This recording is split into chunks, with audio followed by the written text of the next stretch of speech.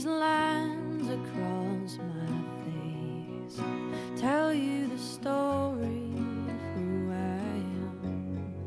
So many stories of where I've been, and now I got to where I am. It's true.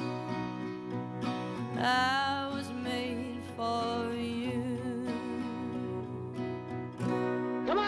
tough out there now.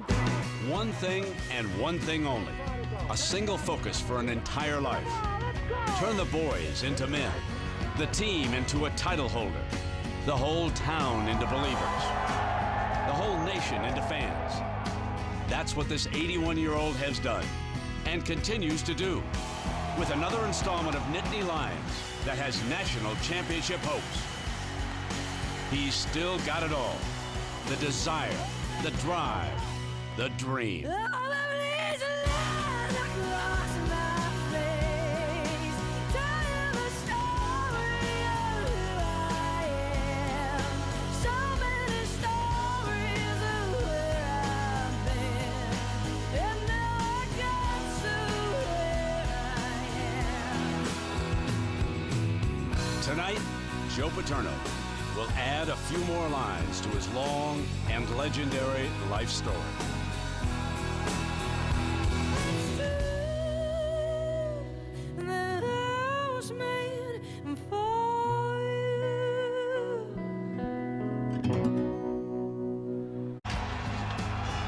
So Joe Paterno, 381 wins for the legend.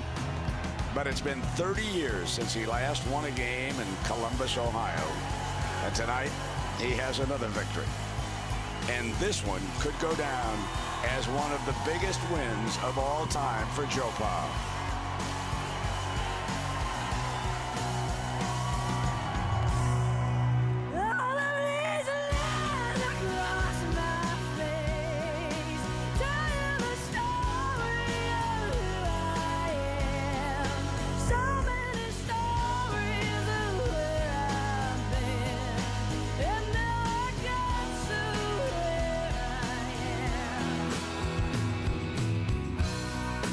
Pa takes dead aim at another national championship.